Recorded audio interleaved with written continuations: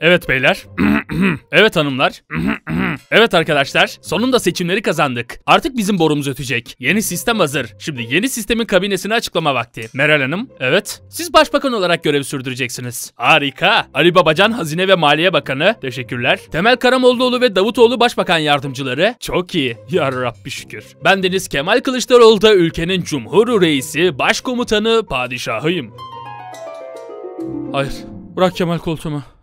O benim. Bırak. Bırak. Ne oldu bey? Kötü bir kabus gördüm Emine Hanım. Hem de çok kötü. Aa, üstünü ört Tayyip Bey. Aynen öyle yapayım. Canım benim seni hiç kimseye vermem.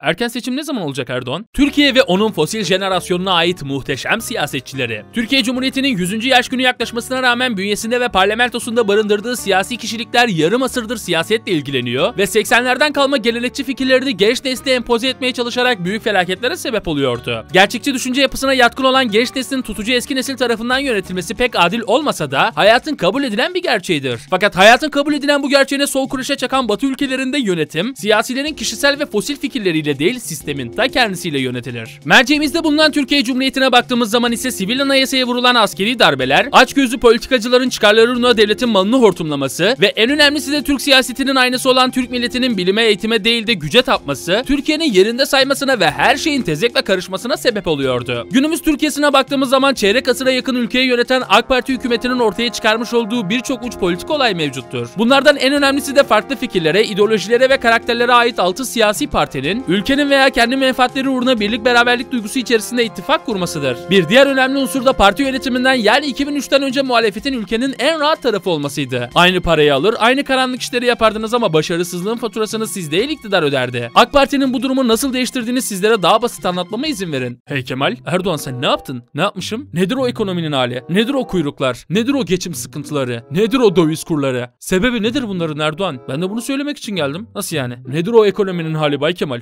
Ne? Sana soruyorum. Döviz kurunun o hali nedir oğlum? Gel. Bak hala hem suçlu hem güçlü ya. Erdoğan ve AK Parti yönetimi yapılan her işin sonunda başarıyı kendisi alır ama başarısızlık içinde bir günah keçisi aramayı ihmal etmezlerdi. İşte AK Parti tabanının günah keçisi hem ana muhalefet partisi CHP hem de başındaki Kemal Kılıçdaroğlu'dur. Kemal Kılıçdaroğlu plak muhabbetinden sonra CHP'nin başına geçmiş ve yaklaşık 12 yıldır muhalefetten başka hiçbir şey yapmamıştır. Rakibinin kutuplaştıran politikalarına maruz kalan Kemal Kılıçdaroğlu sadece kendi adını değil aynı zamanda partinin de imajını sağcı kesim karşısında çizdirmiştir. Türkiye'nin 90'lı yıllardaki geleneksel laik tarafları abartılı irtica hareketlerine o denli takılmışlardı ki elin Avrupalısı 40'lı yıllarda uzay yarışı için mücadele etmeye başlıyorken Türkiye 90'lı yıllarda başörtüsü laik dindar çatışmaları gibi 16. yüzyıldan kalma sorunlarla uğraşıyordu. Gerçi günümüzde de değişen bir şey yok ama hadi neyse. İşte 90'lı yılların abartılı irtica korkusu sağcı partileri mağdur sıfatına düşürüp popülerliğini arttırırken bütün bu kötü sorumluluklar da CHP'nin başına kalmıştır. Bu sebeple insanlar CHP'ye oy vermeyi zinhar Allah katında günah sayıyor. Kemal Kılıçdaroğlu'nun da 20. kuşaktan Ebu Celil'in torunu olduğunu iddia ediyorlardı. Kılıçdaroğlu bütün bu iddialara pasif kalıyor ve gün geçtikçe düşmanını arttırıyordu. Hatta öyle ki Kemal Kılıçdaroğlu'nun bu pasif siyaseti kendi tabanında dahi hoşnutsuzluklar yaratmıştı. İktidar içinse böyle bir muhalefet bulunmaz bir nimetti. Zira Kılıçdaroğlu iktidara karşı her defasında kaybediyor ve Erdoğan'ın güç basamaklarını merdivenle değil asansörle çıkmasını sağlıyordu. Her geçen gün medyanın iktidarın eline geçmesiyle işi daha da zorlanan Kılıçdaroğlu 2019'dan itibaren ufak da olsa başarılar elde etmeye başlamıştı. Fakat onun bu başarısı iktidarın başarısızlığı sonucu ortaya çıktı ama yine de başarı başarıdır diye 2023 Cumhurbaşkanlığı seçimine hazırlanıyor. Türkiye ekonomisinin gün geçtikçe küçülmesi ve insanların yoksullaşmasıyla çoğu kitle pek memnun olmasa da muhalefete karşı yeni bir umut besliyor. Geleneksel medyanın taraf olmasıyla muhalefetin kurtarıcısı olan sosyal medya hiç şüphesizdir ki 2023 seçimlerini en çok etkileyen unsurlardan biri olacaktır. Kılıçdaroğlu'nun iktidara karşı en yakın ortağı da İyi Parti ve Genel Başkanı Milliyetçi Meral Mami'ydi. 2018 seçimlerinde ittifak olan bu iki lider, evet bu sefer başaracağız. Muharrem seçimleri kazanır, birkaç aya tekrar parlamenter sisteme geçeriz. Ben de Cumhurbaşkanı olurum. Harika, ben de başbakan olurum. Peki ya memleket meseleleri? Onları da bir ara hallederiz. Hayırlı olsun Orti. Arkadaşlar haberler kötü. Seçimi kaybettik. Gitti makamlar. Neyse bir dahaki sefer artık. Bu arada parti tabanından daha fazla oy aldım. Ne zaman genel başkan oluyorum? İyi Parti lideri Meral Akşener 1994 yılında siyasete atıldıktan 2 yıl sonra Türkiye'nin ilk kadın İçişleri Bakanı olmuştu. Hükümet dağıldıktan sonra bu sefer gözünü Fazilet Partisi'nden kopan Erdoğan ve Abdullah Gül'e çevirmişti. Bu ekiple birlikte Türkiye'nin geleceğini tayin edecek olan AK Parti'nin kurulum aşamasında Meral Akşener, yenilikçiler olarak adlandırılan grubun aslında gelenekçi olduğunu fark ettikten kısa bir süre sonra bu oluşumdan ayrılmış ve MHP'ye katılmıştı. 15 yıla yakın bu partide görev alan Meral Akşener partinin en güçlü ikinci adayı olmuştu. Olmuştu. Bunlar olurken Milliyetçi Hareket Partisi 2016 yılında iktidara yanaşmaya başladı. Ve gün geçtikçe tek adam rejimi altında Devlet Bahçeli'nin mülkü haline geldi. Parti gün geçtikçe oy kaybediyor, prestiji yok oluyordu. Bütün bu olaylara karşı Meral Mami Devlet Bahçeli'nin yerine talip olmuştu. Sayın Devlet Bahçeli, evet Meral. Görünüşe göre artık barışı geçemeyeceğiz. Parti gün geçtikçe oy kaybediyor. E ne olmuş ki? Koltuğu devretseniz olmaz mı? Hangi koltuğu? Genel başkanlığı.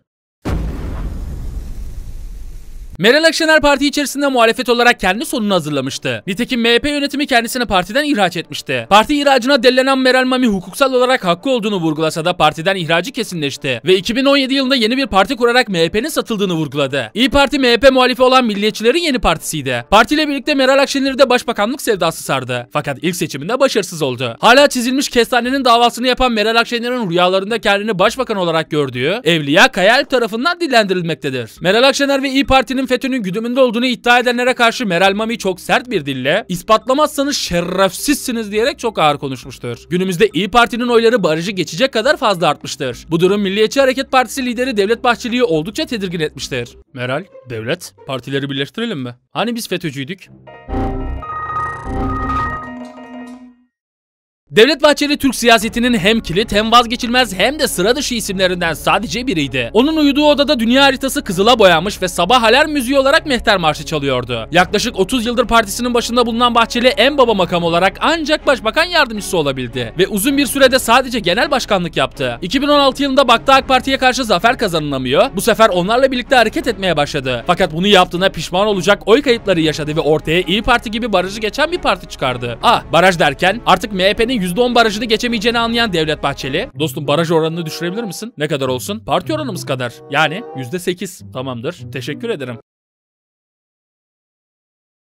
%7 olsun. Günümüzde MHP ve Devlet Bahçeli eski gücünden yoksun gün geçtikçe piyasadan siliniyor. Devlet Bahçeli'nin de yaşı ve hastalığı neticesiyle parti artık gelecek vaat etmiyor. Fakat 2023 seçimlerinde vurucu bir hamle yaparsa işler belki değişebilir. Yani bir nevi taraf değiştirirse. Zaten yapmadığı şey değil. Bahçeli demişken Devlet Bahçeli milliyetçiliği radikal bir şekilde yaşamaya devam ediyor ve Kızıl Elma, Cihan İmparatorluğu gibi 16. yüzyıldan kalma ideolojilerini hala savunuyor. Kendini ülke ateşiyle besleyen bu liderin fetih gibi yayılmacı politikaları olduğu kimi uzmanlar tarafından hala vurgulanıyor. Sizin de Devlet Bahçeli gibi dünya haritasını tek renge boyama hayaliniz mi var? O zaman sponsorum Conflict of Nation tam size göre. Conflict of Nation ücretsiz online bir PvP strateji oyunudur. Modern küresel savaşta gerçek bir ülke seçerek aksiyon dolu dakikalar yaşayın. Tamamlanması haftalar sürebilen oyunlarda gerçek zamanlı olarak 128 oyuncuya karşı mücadele edebilirsiniz. Tanklar, jetler ve nükleer denizaltı rallileri rakiplerinize meydan okuyabilir veya ittifaklar kurabilirsiniz. Hem de bütün bunlar için PC veya mobilden faydalanabilirsiniz. Tribe girerek kendi stratejinizi ve programınızı belirleyip destansı savaşlara katılın katılın. Kim bilir belki de seçtiğiniz ülkeyi süper güç yapmak sizin harika taktiklerinizde gizlidir. İçindeki o cevherin keşfedilmesine izin ver dostum. Böylece üstün bir general olarak devlet nasıl yönetilirmiş cümle aleme göstersin. Ayrıca oyuna yeni başlayacak olan siz değerli Kaya izleyicilerine oyunda geçerli olacak 13.000 altın ve bir ay premium hesaba sahip olacaksınız. Detaylar açıklama kısmında. Siyasetçilere dönecek olursak hükümete karşı muhalif olan sadece CHP ve İyi Parti değildir. En az bu partiler kadar kilit rol oynayacak Halkların Demokratik Partisi, kısacası HDP de vardır. Her ne kadar partinin başında başkası olsa da tabanı tarafından parti lideri Selahattin Demirtaş olarak kabul ediliyor. Demirtaş Erdoğan'dan sol kuruşa yiyip en çok etkilenen siyasi liderlerin başında geliyor. Öyle ki iktidar ve çevresi tarafından teröre destek verdiği iddiasıyla kodese tıkıldı. Fakat bazı muhalif çevreler özellikle Kemal Kılıçdaroğlu Demirtaş'ın haksız yere içeride tutulduğunu iddia etmiştir. 2018 yılındaki Cumhurbaşkanlığı seçimine cezaevinden aday olan Selahattin Demirtaş olayı karman çorman bir vaziyet haline getirdi. Sert muhalefeti sebebiyle tutuklandığı bile vurgulanan Demirtaş'ın Abdullah Öcalan ve ayrılıkçı gruplar için yapmış olduğu olumlu sözler ise teröre yapmış olduğu desteğin en iyi örneğidir diye iktidar ve çevreleri tarafından basına servis edilmiştir. Aynen eskiden olduğu gibi muhafazakar partiler gibi sürekli kapanan HDP tabanının şu anki partisi bile hala kapatılma tehlikesiyle karşı karşıya. 2023 yılındaki seçimlerde en kilit parti hiç şüphesiz ki HDP'dir. HDP'nin bugün kiminle ittifak kurduğu resmi olarak bilinmemektedir. Ama bu sorunun cevabı o kadar da zor değildir. Zira AK Parti ve MHP terör örgütlerinin güdümünde olan bu partinin CHP ve İyi Parti ile ittifak halinde olduğunu vurgulamıştır. HDP gibi oy oranı olmasa da sembolik bir şekilde Millet İttifakı'ndan olan partiler de vardı. Mübarekler, sizinle birlikte çalışmak istiyorum. Hoş geldin Temer Karamollaoğlu. Tabii ki Erdoğan'a karşı Ebu Sufyan'ı bile aramıza alabiliriz. Harik...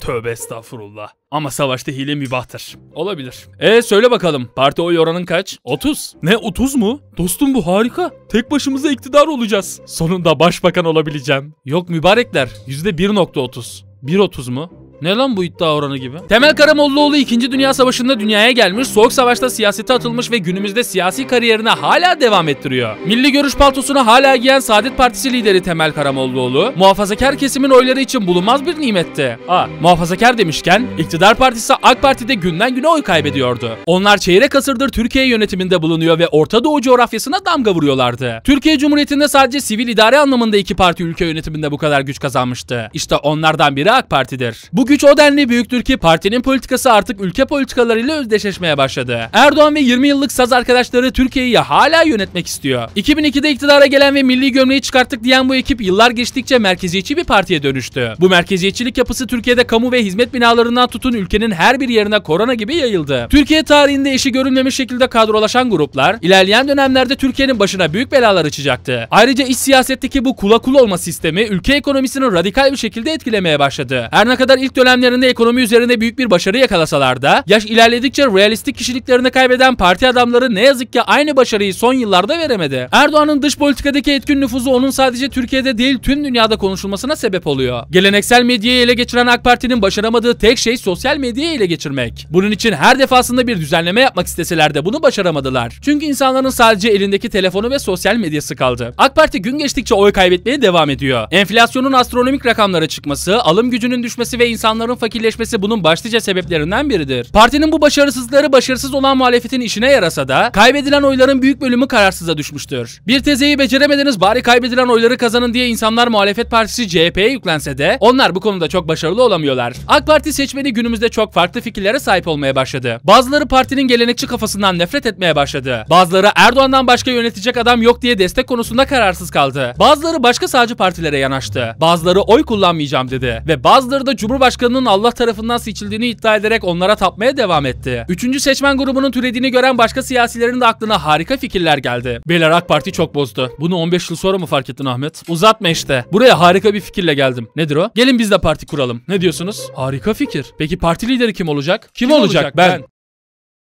Yine hüsran. AK Parti'nin 20 yıllık serüveni sadece ülke yönetiminde siyasi olaylarla değil, bir de içerisinde yaşadığı muhalefetle de gündeme gelmiştir. Partinin her geçen gün daha da merkezi yönetim kafasına girmesi bazılarının rahatsız ettiği gibi ihraçların ve istifaların sebebi oldu. Bunlardan en önemlisi eski Başbakan Davutoğlu, Ekonomi Bakanı Ali Babacan ve eski Cumhurbaşkanı Abdullah Gül'dü. Abdullah Gül siyasi muhalefet yapamayacağını öğrense de Davutoğlu ve Ali Babacan parti açarak işi siyasete de döktüler. Fakat insanlar artık AK Parti'den ve maklubecilerden ürkmeye başladıkları için işleri oldukça zordu. Ayrıca tek parti olmaları gerekirken farklı partiler kurması da işlerini daha da zorlaştırarak aralarına rekabet oluşturacaktı. Peki sizce bu rekabeti kim kazanacaktı? Ya Meral, efendim Kemal. AK Parti hala oy kaybediyor ama bizim oy oranları pek fazla artmıyor. Aynen ben de farkına vardım. Allah Allah. Acaba nereye gidiyor bu oylar? Beyler ittifaka adam lazım mı? İşte Türk siyasetinin figürleri az önce anlatmaya çalış... Lan terbiyesiz herif. Nedir oğlum bu benden alıp veremediniz lan? İşte Türk siyasetinin figürleri az önce anlatmaya çalıştığım bu şahıslardı. Her ne kadar Türk milletinin kanında bu hizmetçileri yüceltmek olsa da hiçbir zaman parti tutkunu fanatiği olmamalısınız. Bunu bir kamu spotu gibi düşünün. Siyasi partileri takım tutar gibi tutmak otokrat kafalar doğurabilir. Türkiye'yi bırakın dünya siyasilerine göz attığımız zaman genelinin çıkarcı, güvenilmez tipler olduğunu anlarız. O yüzden kula kul olmayın. Balığın üstüne ayran içmeyin. Kısacası Türk siyasetinde iki grup vardır. Bunlardan biri devletin malını yiyenler, bir diğeri de yemeğe hazırlananlar.